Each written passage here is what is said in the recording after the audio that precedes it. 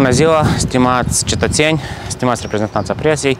Ne aflăm astăzi împreună cu domnul Sergiu Stoian, vicepreședintele fracțiunii PAS, eu sunt Dumitru Ivanov, la fel vicepreședintele fracțiunii PAS din Consiliul Municipal Chișinău și acum noi ne aflăm în fața Procuraturii Generale, unde urmează să depunem un nou denunț pe ilegalitățile care se comit zi de zi în cadrul primăriei municipiului Chișinău. Iar astăzi vom depune un denunț ce ține de creditare de către primăria municipiului Chișinău a cetățenilor acestui oraș.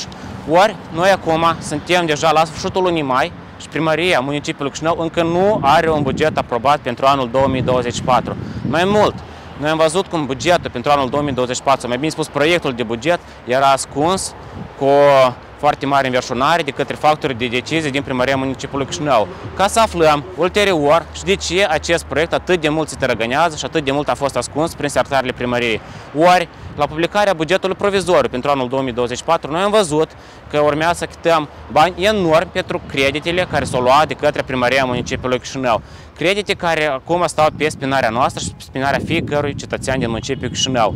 Noi am făcut o analiză mai aprofundată. Acum, primăria municipiului Chișinău s-a îndatorat și am descoperit că în doar în primul an de mandat, primarul general Ion Ceban a îndatorat acest oraș cu 1,5 miliarde de lei.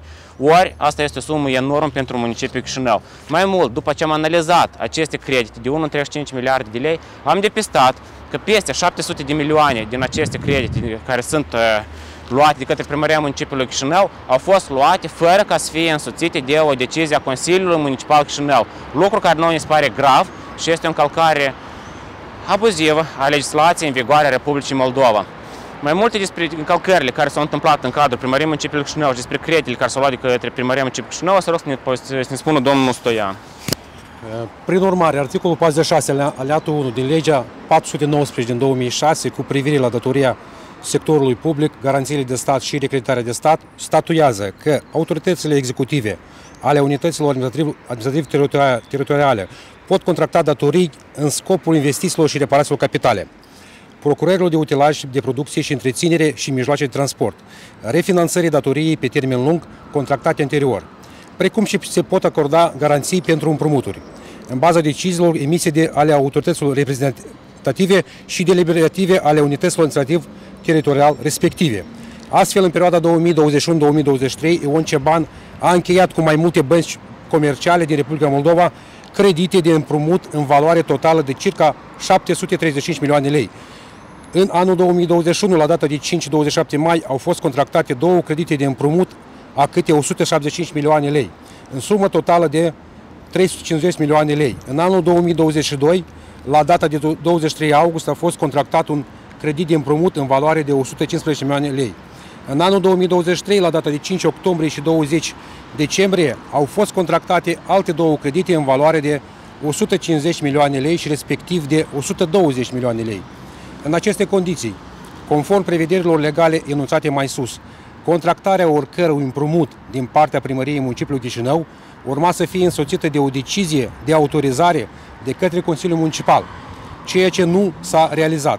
La momentul contractării, băncile comerciale au fost duse în eroare, fiindu-le prezentate doar deciziile aferente aprobării bugetului anual corespunzător, care nu pot înlocui o decizie a Consiliului cu privire la avizarea de împrumuturi în condițiile articolului 46 la 2 din legea 419 din 2006, cu privire la datoria sectorului public, garanțiile de stat și recreditarea de stat.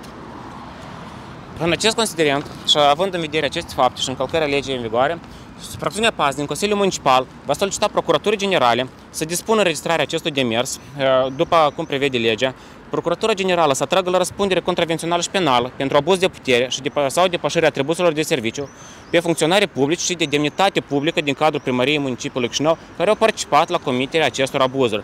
Și dacă se va dovedi că aceste acțiuni au avut loc ca urmare a comportamentului corupțional al anumitor funcționari, atragerea și la răspundere și pentru aceste fapte de corupție.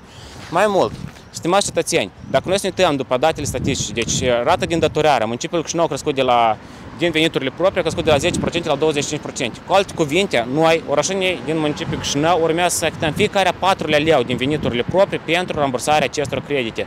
Din acest considerent, noi acum o să mergem în cadrul Procuraturii Generale, o să dispunem acest demers, noi o să cerem ca să se facă dreptate și persoanele responsabile să fie trase răspundere în cazul în care se demonstrează că au fost făcute aceste abuzuri.